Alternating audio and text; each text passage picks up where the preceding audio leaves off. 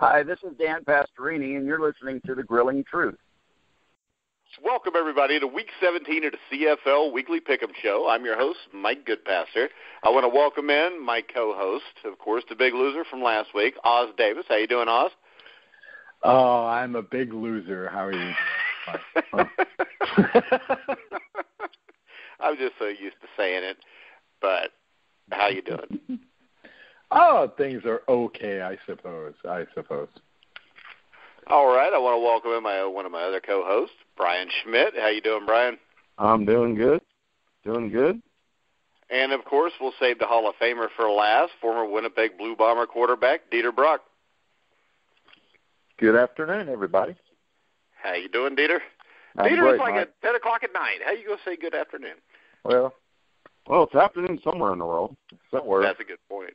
All right. Um, we will start off Saskatchewan, thirty-two to thirty over Ottawa. Um, they're- had a field goal kicker, which his name is Crap. Is it Crapagena? Hmm. Tyler Crapagena connected on six. and seven field Cravinho, I think. I think it's probably not how you say it, but it's a whole lot Probably. of say. Um, all right, Os. Um, this, show, this show took three minutes to already go downhill. Yeah. that was a lot less than three minutes, Brian. But, but uh, the Saskatchewan Roughriders, Os, could they make the playoffs, or are they eliminated? No, they they became mathematically eliminated. Ironically, they they were mathematically eliminated when Edmonton beat Montreal. So, you know, this was a team that Saskatchewan beat not too long ago in the Eskimos, and yet they were responsible for their elimination from the playoffs. So, nah, that's it for the Riders. But here they are. This is the first time they've won more than two games in a row in three years now, since they won the Grey Cup. That was the last time they won two games in a row or more. So good for them, I guess. You know, it's ironic that they're still making trades at this time of year. You know, they're they're playing their best ball. This was the best game they played all year, and it didn't mean anything to them. Yeah, So- and the way the way they played the last month, though, Brian. I mean, it's conceivable that they're playing better than maybe a team or two that might make the playoffs. Yeah, I I mean, at this point, they conceivably could end end the year as the hottest team in, in the CFL and not even make playoffs. Uh, but you know, that's good for them, and you know, hopefully, you know, this is building something for next year. Uh, but they're they're playing well right now. All right, now once again, I would like to apologize to Tyler Crapagena, whatever his name is, because that's just. I wanted to say it again. I'm sorry, that was juvenile. I can't help it. That's locker room talk. If you listen to the debate, you'll know what I'm talking about. Um, Dieter, the Ottawa Red Blacks. Um, where do they go from here? I mean, Trevor Harris gets chased from the game. Henry Burris Mhm. comes in, rallies the team from a 15-point fourth quarter deficit. Um, you think they stay with Harris? You think they go with Burris, or what do you think they're going to do now? Well, I think what I heard they were going to go with Burris this week. I think he's going to start. Um, so it'll be. I, I don't know. I don't know what happened to Harris because I thought he was playing pretty well. Um, but I, yeah, I think Burris is uh, going to be the starter this week. All right, and now we will go to a game that I'm sure Dieter would like to talk about. The Winnipeg, Winnipeg Blue Bombers held off a BC Lions rally, secured a crucial West Division win, 37-35. Um, what was your take on the game, Dieter? Well, it was a great game. I mean, uh, Winnipeg got off to a, a good lead, and BC came roaring back. I thought uh, both teams, you know, played very, very well. And, and uh, Jennings, you know, threw for over 400 yards. Nichols, again, had a you know a good game with no turnovers, and uh, it was a great game. I, the one thing that I don't like, and and, I, and, and I'm glad Winnipeg won, but uh, I don't know if you guys did you see the the last play when Winnipeg was trying to run the clock, uh, I guess, in the game, and I thought for sure that was a fumble by Andrews. hmm Well, Os by- giggles, by so I think Os agrees with you. hmm Yeah. You see Well, I mean, sorry. Go ahead. Oh, did you see the? Did you, what did you think there? Did you, did you think that was a fumble or not? Yeah, they might have gotten away with one there. Uh, a lot of people are talking about it today online. Um, they might have gotten away with one, but I don't know. Spirit of the game, don't you think? I mean, I. Well, I, I'm, I, I'm not complaining because I, you know, Winnipeg won. and Yeah. I'm glad about that. but, uh, but I, you know, I, I, I, I don't understand how you can have, uh, you know, guys looking at it, you know, and and and, and everybody sees Yeah. it. The ball Yeah. was coming out before he Yeah. hit the ground. I mean, it, it was Yeah. obvious to me. Yeah. Yeah, and I think we see that in the NFL all the time. Uh, correct, Brian? Basically, all officials suck. Do you agree? I have not met an official yet that didn't suck. There you go. There you go. So, I mean, I, and I think right now, I think these are the two teams that are vying to be the second best team right now. Um, they play again, be back to back. Um, Brian, what's your take? Do you think Winnipeg? I mean, the thing that surprised me is at the start of the year we were making fun of Winnipeg with Os's Alouettes, Brian. Yeah. yeah. it's true we were. Uh I just I just think, you know, Winnipeg is just you know, they've continued to develop. I think I think Nichols as their quarterback has definitely been a difference maker and uh, you know, obviously Andrew Harris running the football. Uh but you know, BC, I mean, you know, Jonathan Jennings, uh, you know, 28 to 38, 422 yards, but but two interceptions. Uh, you know, again, that that game with him where you know at times he plays really well, at other times you know he plays well, but there's always those few mistakes. So uh, you know, he, he's a guy that you know is just right there on the cusp. I think of being a you know an elite quarterback, but you know every so often he uh, just doesn't quite get there. But but still, I think BC is a, a you know pretty good team. I, I think they're going to be a you know good team in the playoffs as well. All right, now you talked about a hot quarterback. We'll go to Mike Reilly, threw for 346 yards and a pair of touchdowns. John White runs for 145 yards, a couple touchdowns. Um, I mean, is, is there really? I mean, I know Calgary is the best team, no doubt. But Brian, is Edmonton just flat out the hottest team right now? Yeah, I mean they're a hot team, but this this has been been the story of the CFL this year is is teams that that get hot and seemingly looking like they're going to be that second best team, and all of a sudden they lose a couple games and, and go backwards. And uh, you know, Edmonton right now is the, is definitely the hottest team. Uh, you know, right now I I feel. I mean, they're uh, doing it, but I mean, you know, a week from now, you know, they could lose, and we're, we're all talking about, you know, you know, here we go again. And it, it's just been a weird year with every every time we anoint a number two team. Uh, you know, again, like I said, we're we're kind of like the Sports Illustrated jinx from these teams. So, uh, you know, we'll see what's happening when it gets to the end of the year. All right. Now, I remember somebody on this show bringing up a question Os about four or five weeks ago about whether he thought the Eskimos still had a shot to make the playoffs because Yeah. that person did.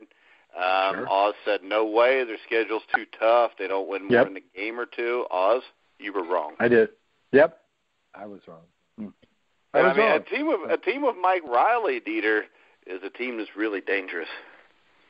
Oh yeah, Mike's been playing great all year, and um, I mean, they and he put up forty. They put up forty against a pretty good defense. You know, Montreal's that- that's the one strong point of Montreal is their defense, and certainly, uh, you know, Mike Reilly didn't have much problem with with Montreal, so they're very hot. Well, I think I think I mean- they're they're going to be a good team. when when the defense is on the field for 65% of the game, okay, at one point I think halfway through the third quarter they had been on the field for 75% of the game. When that happens, yeah, it's going to be pretty easy to beat them in the fourth quarter. Sure. I mean, this defense just tuckered out because the offense can't score 16 points. That's true. Uh, You that's know? Yeah, been but- the I pro- mean, But that's been the problem all year with Montreal. right. But, al- Exactly. but also, Exactly. um, Os. I mean, also, isn't it somewhat of a defense's fault when you give up 30 carries for almost 200 total yards? Oh, sure. Oh, sure. It's insane. I mean, that, I that mean, tends I mean, to extend drives also, or extend Right. how long I- you're on the field. I mean, I like I like how the Eskimos from out of nowhere now have this one-two running attack. I like that, And the Alouettes have been vulnerable to the run all year as well. I mean, we talk about how they have a great defense, yeah, but they've also led up the most yards yards per game running. Now, some of that is a function of being down by 20 points in the first quarter, but hey, they are relatively weak against the run. And yeah, I mean, they did let the Eskimos walk all over them in that second half, definitely. Now, how much of that was just about being beat? Hey, hey, real, that, real quick, Os, are the cops coming to get you for something? Yeah, that's my that's my ride, guys. I gotta go. Um, uh, so you know, I mean, I they, yes, they let the Eskimos walk all over them in the second half. Some of this was a function of fatigue. Some of this was about you know just being the worst team on the field. Well, and then we go to the best team in the league, probably the Calgary Stampeders beat Toronto forty-eight to twenty. Um, Dieter, the thing that stood out to me when I know they scored 48 points, but six sacks on the quarterback. I think that is what makes Calgary the best team because they're the best offense and the best defense. Yeah, that's that's true, Mike. They they are the best offense, and they do have the best defense. I think Winnipeg's coming on strong defensively, but Calgary uh, is right now when you got the best offense and the best defense, that's pretty hard to beat. And uh, you know they're they're gonna they're going to be pretty tough to to beat in, in the playoffs. Yeah, and Jerome Messam again, Brian, 17 carries, 133 yards, kind of the same thing that we were saying about you know, Edmonton. I mean, they have a complete offense; they can run the ball or throw the ball. Yeah, and and we've been saying that all year. Uh, Calgary just the ability to do whatever is necessary to win a football game, uh, be it run the football, throw the football, have have great balance. Uh, defensively, make play make plays when they need to. Special team. Uh, you know, again, Calgary is is the New England Patriots of the CFL. Uh, just the ability to win games uh, in any way, shape, or form. But you know, offensively, always do a great job of you know great balance. But even if you take one thing away, they're so good in every other area. You can take the passing game away, and then they're going to run the football. Take the running game away, they're going to throw it. Uh, just that balance is is really what sets them apart from everybody else. Now, my question for Os, the Toronto Argonauts. I mean, you're used to dealing with bad teams. You're an Alouettes fan. Um, they got Drew Hmm. Willy. He actually played pretty well, 26 to 31. Didn't throw any picks. I mean, is this team? Do they need a lot of help to be a contender next year, or do you think it's just a few pieces here or there? I was hoping to talk about Calgary. I was hoping you were going to give me a Calgary question. Yeah, I figured that, so that's why I asked you. Toronto, yeah, it crossed me up. Yeah, But I'll I let you don't talk about Calgary after you talk about Toronto. Toronto is depressing. It's amazing that um, the media, and I hope that the front office doesn't feel the same way, but the media is talking about losing Milanovich. You know, I can't. I mean, hmm. really? Why? Why would you? w- It's not his fault the team is this bad this year. And the, and the truth is, is that you know this year I was always suspicious because they had pinned so much of the of their hopes this season on Ricky Ray and getting people into that new stadium. Well, guess what? You know, Ricky Ray's been on the bench most of the season and in the hospital, and the fans haven't come to the stadium. So I don't understand why this is the coaching staff's fault. And you know, we we talked about this before. You know, their new their new slash old quarterback is not for this year. He's for the future. If he has a future, you know, this season they're playing out the string. Hopefully next season things will be better. But if they do another front office shakeup, it's not going to be better. All right, Os. You know, what they, you want to say about they'll be right at the bottom with Montreal again next year. What do you want to say about Calgary? What did I want to say about Calgary? What's awesome about Calgary is this: they clinched a playoff spot like two weeks ago. They clinched the number one overall last week, but they're still they're, these games are still meaningful because they're going for the 18 game record. And so it's really it's going to be really fun to see this going down the stretch. I mean, they're about the only team that can improve their playoff position this week. But what they can do is continue chasing that record, and I think they want it. I think. Well, I think they're going to get it because their schedule includes Montreal twice and Toronto once. They could probably Mm-hmm. rest their starting quarterback and Messam. I mean, Mitchell and Messam could Wow. take a break for three weeks, and they're going to win all three of those games. Wow. Yeah, but you can't do that. You can't do that. I mean, we we we know this. If you give these guys two weeks off, they're going to be. I didn't say you rough. could do that. I was just saying that those teams are so bad they could beat them easily. I should have just said that to Brian or Dieter. They'd have understood me. All right, we'll go to Week 17 picks. Um, we'll start off with Brian. Ottawa at Hamilton. Oh, this is one of them games that's going to be tough to pick. Um, you know, I'm, I, I'm, I'm, uh, I'm definitely going to go with Ottawa. Uh, I, I don't know why because every time I go with Ottawa, they lose. But you know, eventually they got to win, so I'm going to go with Ottawa. All right, Dieter. Yeah, I, you know, um, Collaros is going to be out. Uh, they're going to they're going to hold him out another week or so, I guess, and um, Masoli will start. Uh, and then, of course, Burris is going to be playing for or starting for Ottawa. This is a tough one to pick. Um, you know, I, I think Ottawa is going to going to win it. I, I'm going to I'm going to go with Ottawa, uh, but it should be a pretty good game, pretty close game. Yeah, I'm going to go with Dieter and Brian. I'm going to go with Ottawa too. Hamilton just whether it's Collaros or no Collaros, the last few weeks they haven't played well. Shut up, Os. Os, what do you got? Ottawa or Hamilton? oh, I'm going Hamilton. I don't know. I just can't. I just okay. can't pick a winner. All right, you've I- got Hamilton. So Okay. me, Dieter. go ahead. No, I was just going to say, um, you know, I, I don't, I can't really see a clear winner in this game. I also can't imagine that these teams would do anything but split this week and next week because they're playing a head-to-head uh, these next two weeks. I can't imagine that that's going to do anything except one and one. So Hamilton's at home. So all things being equal, I'm going Hamilton here. Oh, you are going to take Hamilton. All right. Oh yeah. All right. Um, next game, Dieter gets to pick it first because it's his Blue Bombers. The Blue Bombers at BC to rematch last week's great game. hmm It's tough to um, you know to uh, uh, beat the same team twice in a row, and and uh, and also they're playing there in in Vancouver, so uh, it, it's going to be a tough one. But I think Winnipeg uh, is playing. You know, their defense is is still playing very very well. Um, Nichols is protecting the football and and doing a good job of moving the team. And as well as BC plays at times, I'm still going to go with Winnipeg in this one. All right, Os. Right. Um, I can't believe that Wally Buono is going to lose to the same team two weeks in a row. I gotta go BC. Yeah, I'm going to go with you. I think the teams are fairly evenly matched. So Yeah. Winnipeg got the first one. I think BC gets this one. What do you think, Brian? I agree with you guys. I, I as much as I'm becoming a, a Winnipeg fan, mostly because of Dieter. Um, I got to go with BC. I just I don't think uh, well, I don't think Winnipeg can will win this one, but uh, I think it'll be another great game. Uh, I could see it very easily being 37-35 BC. So I think it'll be a great game. All right, next game. I guess I'll do this one to start off. Saskatchewan at Toronto. Number one, who cares? Number two, Saskatchewan. What do you think, Brian? No.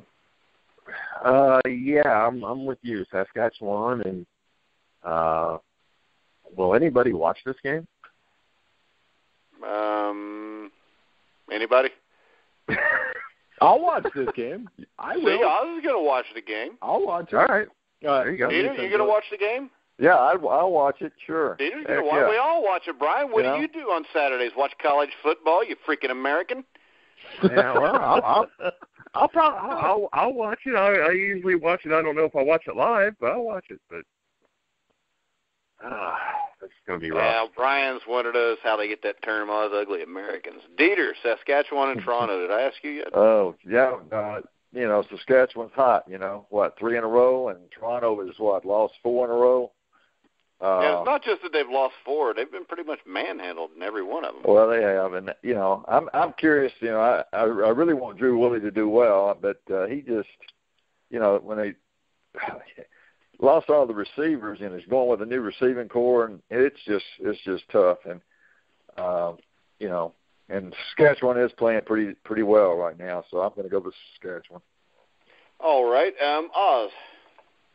Well, in answer to the question, who cares? The Saskatchewan fans care, and I mean that that that counts for something. All God, it was a joke. matter. All right, chill out. All all fans matter. Come on, you always gotta bust that. my ass about something. Oh yeah, I bust your ass. But anyway, Uh, yeah, sure. Saskatchewan will win this game, and I also think this game will be worth watching because now we're finally getting to see what a Chris Jones team looks like. At least we think. All righty, so everybody picked that one. Montreal at Calgary. Os, you get to be a homer or not? Are you kidding? Come on.